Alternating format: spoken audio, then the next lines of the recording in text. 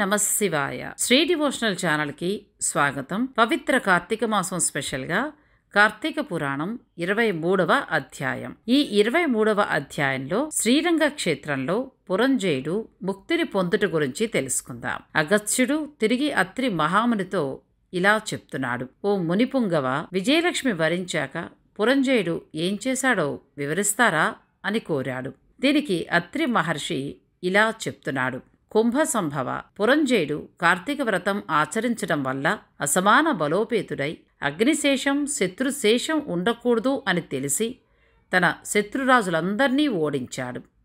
నిరాటంకంగా తన రాజ్యాన్ని ఏలాడు. తన విష్ణుభక్తి ప్రభావం వల్ల గొప్ప పరాక్రమవంతుడు పవిత్రుడు సత్యదీక్షా తత్పరుడు నిత్యాన్నదాన భక్తి ప్రియవాది తేజోమంతుడు వేద వేదాంగవేత్తగా విరాజిల్లాడు. శత్రు రాజ్యాలను జయించి తన కీర్తిని దశ దిశలా చాటాడు. శత్రువులకు సింహస్వప్నమై విష్ణుసేవ దురంధరుడై కార్తీక వ్రత ప్రభావంతో కోటికి పడగలెత్తి అరిషడ్వర్గాలను జయించాడు. అయినా అతనిలో తృప్తి లోపించింది.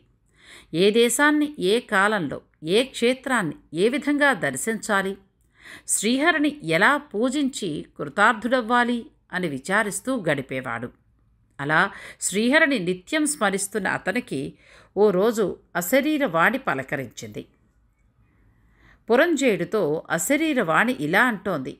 ఓ పురంజయ కావేరీ నదీ తీరంలో శ్రీరంగ క్షేత్రం ఉంది దాన్ని రెండో వైకుంఠమని పిలుస్తారు. నీవు అక్కడికి వెళ్ళి శ్రీరంగనాథుణ్ణి అర్చించు. నీవు ఈ సంసార సాగరం దాటి మోక్ష ప్రాప్తిని పొందుతావు అని పలికింది. అంతటా పురంజయుడు తన రాజ్యభారాన్ని మంత్రులకు అప్పగించి సపరివార సమేతంగా బయలుదేరి మార్గంలో ఉన్న పుణ్యక్షేత్రాలను దర్శించుకుంటూ ఆయా దేవతలను సేవిస్తూ పుణ్యనదుల్లో స్నానం ఆచరిస్తూ శ్రీరంగానికి చేరుకున్నాడు. అక్కడ కావేరీ నది రెండు పాయలై ప్రవహిస్తూ ఉండగా శ్రీరంగనాథ స్వామి మధ్యలో కొలువయ్యారు. శేషశయ్యపై పవళిస్తున్న ఆయనను గాంచిన పురంజయుడు పరవశంతో చేతులు జోడించి దామోదర గోవింద గోపాల హరే కృష్ణ హే వాసుదేవ దాసోహం దాసోహం అంటూ స్తోత్రం చేశాడు. కార్తీక మాసం అంతా కూడా శ్రీరంగంలోనే గడిపాడు. ఆ తరువాత వారు అయోధ్యకు బయలుదేరారు. పురంజయుడు శ్రీరంగనాథస్వామి సమక్షంలో కార్తీక మాస వ్రతం చేయటం వ్రత మహిమలతో అతని రాజ్యంలోని ప్రజలంతా కూడా సుఖశాంతులతో విరాజిల్లారు. పాడి పంటలు ధనధాన్యాలు ఆయురారోగ్యాలకు లోటు లేకుండా పోయింది. అయోధ్యానగరం దృఢతర ప్రాకారాలు కలిగి తోరణ యంత్ర ద్వారాలతో మనోహర గృహ గోపురాలు పురాదులతో చతురంగ సైన్య సంయుక్తంగా ప్రకాశిస్తూ ఉంది. అయోధ్యానగరంలో వీరులు యుద్ధ నేర్పరులై రాజనీతి కలవారై వైరి గర్భ నిర్భధకులై నిరంతరం విజయశీలురై అప్రమత్తులై ఉన్నారు.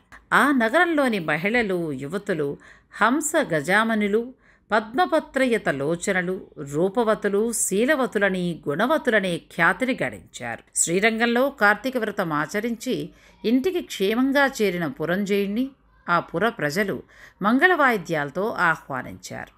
అలా కొంతకాలం ఐహిక వాంఛలను అనుభవించిన పురంజయుడు ఆ తర్వాత వాటన్నింటినీ వదులుకుని తన కుమారుడికి రాజ్యభారాన్ని అప్పగించి వానప్రస్థాశ్రమం గడిపారు. జీవితాంతం కార్తీక వ్రతాన్ని క్రమం తప్పకుండా ఆచరిస్తూ అంత్యకాలంలో వైకుంఠానికి చేరుకున్నాడు. కాబట్టి ఓ అగత్య కార్తీక వ్రతం అత్యంత ఫలప్రదమైంది. దాన్ని ప్రతి ఒక్కరూ ఆచరించాలి.